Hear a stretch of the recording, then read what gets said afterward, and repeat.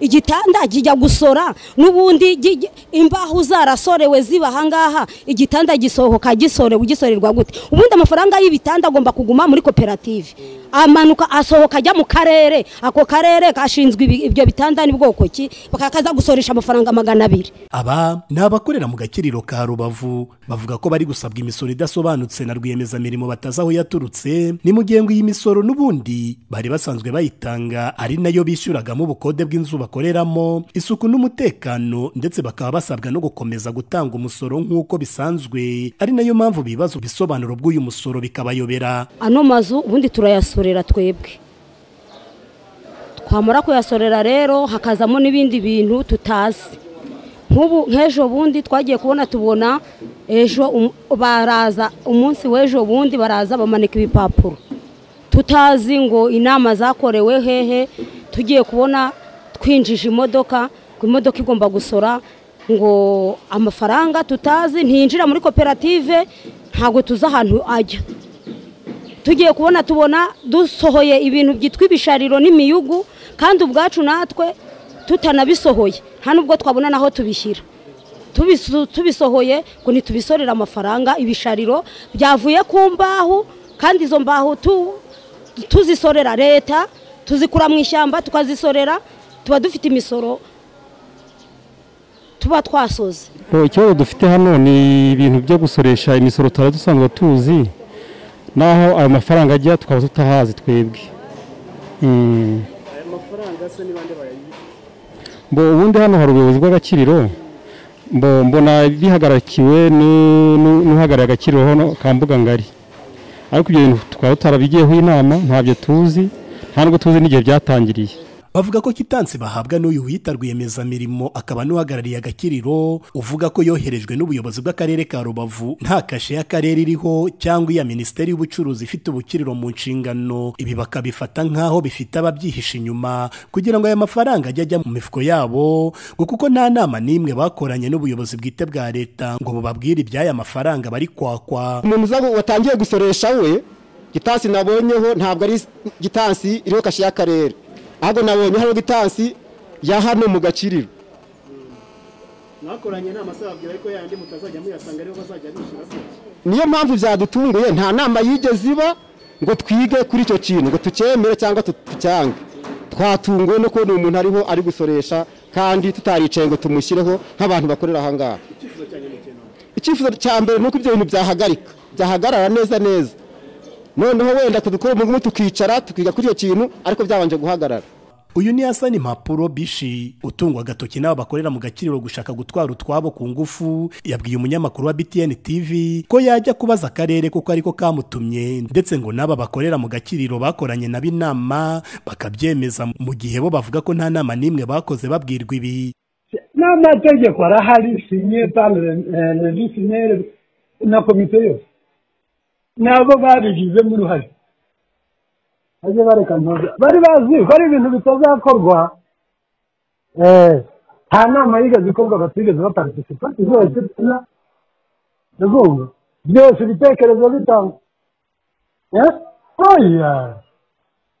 Ibindi uri kuvuga ngo nta nama yabaye? Barakubeshya.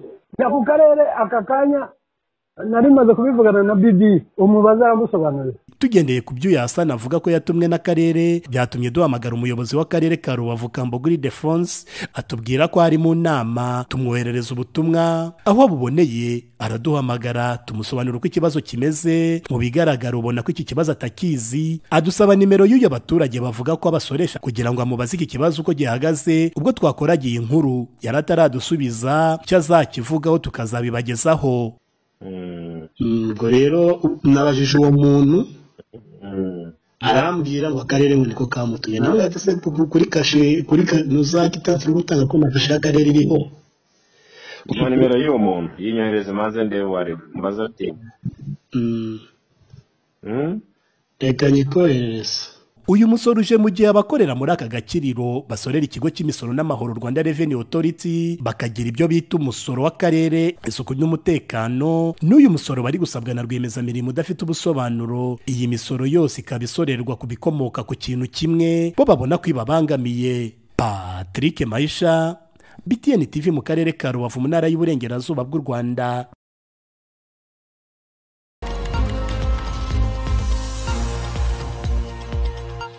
Niba se umuntu ashobora kuba yakiba porotayi iri ku muhanda kuri kaburimbo neza irondo ryitwa ko rihari gusa iryo rondo rikora gute? Irumva ni ikibazo gikomeye. Ikindi kintu nyine hari umubare mwinshi w'abantu b'abanywa urumogi hano mu gishanga. Abanywa urumogi. Bazwi barirwa bagenda. Ikibazo cy'ubujura ni ikibazo gikomeye nk'umwa nijoro bari banize. Ni ikibazo gihuriweho n'abaturage hafi ya bose batuye muri uyu mudugudu wa kanyonyomba bavuga ko ngo batarimo kuryama ngo babe babasha kugoheka. Bitewe n'ikibazo cy'ubwiyongere bw'ibisambo bibaraza rwa ntambi bagasahurwa mu mazu abandi bagategerwa mu nzira. Bakamburwa amatelefone ngo ibi bisambo bigahita byirukira mu gishanga cya kanyonyomba aho usanga bagandagaje ku manywa y'ihangu binywera umusururu. Ikibazo cy'ubujura ni ikibazo gikomeye nk'umwa nijoro bari banize. Bansanze hanze ndetse bararunguruka nuko bagiye kumva bakumva umugabo aravuze bose bahita biruka. Kandi ubwo bari bamaze gutora amabuye bagiye kuyantera. Mu gipangu mo imbere ngende mu gipangu mo imbere bo bari hanze. Ikintu cyaje ni uko umuhungu tubana yayisaza aravuga bose baba barirutse. Ubwo hari sangahe? Hari nka saa yine z'ijoro.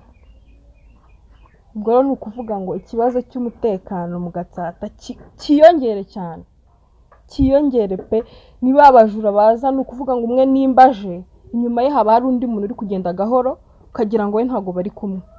Wajya kumva wafata wa wundi uvugije induru uhita ubona bose birukankiye icyarimwe. Rero birakaze cyane. Ikintu kijyanye n'umutekano muri uyu murenge wa gatsata hari ubujura bukabije buteye ubwoba. Niba abajura bageze ku rwego rwo kuba basanga abantu mu gipangu bakabafungirana hari mu masaha mu masaha y'ijoro mu masaha ya saa cyenda gutya. Ubwo twakeneye kujya hanze mu gitondo dusanga nyine usanga bafunze badufungiranye inyuma y'urugi. Ubwo twahamagaraga abaturanyi nyine bakadukingura dusanga ibintu byose babitwaye. Bahereye ku mbata inkwavu amakara byo mu gikoni ibikoresho byo mu gikoni byose barabitwara. Ubujura bukomeje kugenda bufata indi ntera. Ngewe aho mbabwira uku kwezi kwezi kwa gatatu ukwezi kwa kane ukwezi kudasanzwe kuri ngewe bwa mbere abajura babanje kuza mu rugo imbwa irabatesha nyine. Kuko hari n'uwabanje kumera nk'aho ifashe ariko birangira biba igipangu nyine arasimbuka. Ubwa kabiri bagarutse bagaruka nyine bayiroga tubyutse dusanga imbwa yapfuye. Nta n'igihe cyaciyeho igitondo tubyutse dusanga urugi rwo kuri porutaye baruteruye barutwaye. Ibyo byabaye mu kwezi kwa gatatu. Mu kwezi kwa kane naho eh, ahangaha nyine nk'uko wabibonye ni ho nkorera umushinga nyine wo korora inkwavu imbata ibintu nk'ibyo ngibyo nyine. Baraje bica ingufuri barabanje bafungirana abaturanyi b'ahangaha barangije bica ingufuri barazikata mu miryango isaga umunani bamaze gukata ingufuri bakuramo inkwavu zose batwara n'imbata. Batwaye inkwavu zihagaze ibihumbi bigera muri mirongo itanu na. Batwara imbata eshanu zihagaze ibihumbi mirongo itanu na. Urumva deja ko nahise mpomba ibihumbi ijana byirukanka muri ako kanya. Gusa urumva ni ikibazo gikomeye. Urabwira ba mudugudu wabwira abamutekano ukumva nyine nabo ubwabo ntacyo bafite cyo gukora. Abaturage bongeye kwifatira ku gahanga. Abanyerondo ngo kubera yuko usanga bibereye kuri kaburimbo nabwo ku manywa y'ihangu gusa naho mu masaha y'ijoro ntube wagira uwo uca ikibazo cyari gikomeye rero irondo ry'ahangaha rikorwa gute? Ngewe ntabwo natinya kwivuga rimeze nk'aho ridahari. Hari irondo nakita ko ari irondo rya baringa. Kubera ko niba ubona mu gitondo guhera mu gitondo kugeza wenda saa moya abanyerondo bari mu muhanda ese uribaza iryo ni irondo barimo? Ese irondo rikorwa ku manywa?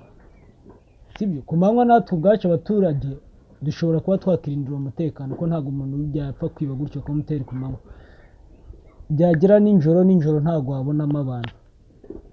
Niba se umuntu ashobora kuba yakiba porutayi iri ku muhanda kuri kaburimbo neza irondo ryitwa ko rihari gusa iryo rondo rikora gute? Irumva ni ikibazo gikomeye. Ikindi kintu nyine hari umubare mwinshi w'abantu b'abanywa urumogi hano mu gishanga. Abanywa urumogi. Bazwi. barirwa bagenda. Niba umuntu agiye iwawa rimwe umuntu akajya igikondo rimwe kabiri gatatu ese uwo muntu baramugaranga akora iki wumva hakorwa iki? Abo bantu babakusanya nibashake bajyana baheze kuko kese ni abantu bamwe ni abantu bamwe bakomeje ubwo bujura. Ku murongo wa telefone tuvugana n'umunyamabanga nshingwabikorwa w'uyu murenge wa gatsata bwana ndanga patrice. Yahakanye ibivugwa n'abaturage avuga ko umutekano ngo ugenda neza ngo usibye ikibazo cy'ingegera zikihagaragara. Icyo mpamya cyo ni uko ingegera zirahari. Ariko turazifata tukazijyana igikondo zikagira zikagaruka tukagira ngo zirihana tukongera tukazifata ni ibyo duhoramo umutekano muri rusange urahari. Ariko izo nzererezi ntabwo zizabura. Icyo dukora iyo tuzimenye turazifata tukazijyana igikondo zikigishwa abandi bakagiwawa uwafatanywe igihanga nk'uwo nguwo agashyikirizwa rib ikamukorera dosiye hakwibazwa icyo ubuyobozi bukora kugira ngo hagaruke ituze n'umutekano muri uyu murenge wa gatsata bikakuyobera kuko atari bwo bwa mbere byumvikanye mu itangazamakuru ko ucyambuka ikiraro cya nyabugogo werekeje gatsata udashobora kugeza ibyo ucyuye mu rugo amahoro. Bitewe n'ubwiyongere bw'ibisambo bishikuza abaturage amatelefone ibikapu by'abagore. Kandi bikaba bikomeje gukorwa umunsi ku wundi kugeza ubwo kuri ubu bimaze gufata indi ntera yo kuba bakuraho imiryango y'ibipangu na yo bakayitwara. BTN TV mu murenge wa Gatsata wo mu karere ka Gasabo mu mujyi wa Kigali Ndindahiro Valence Papi.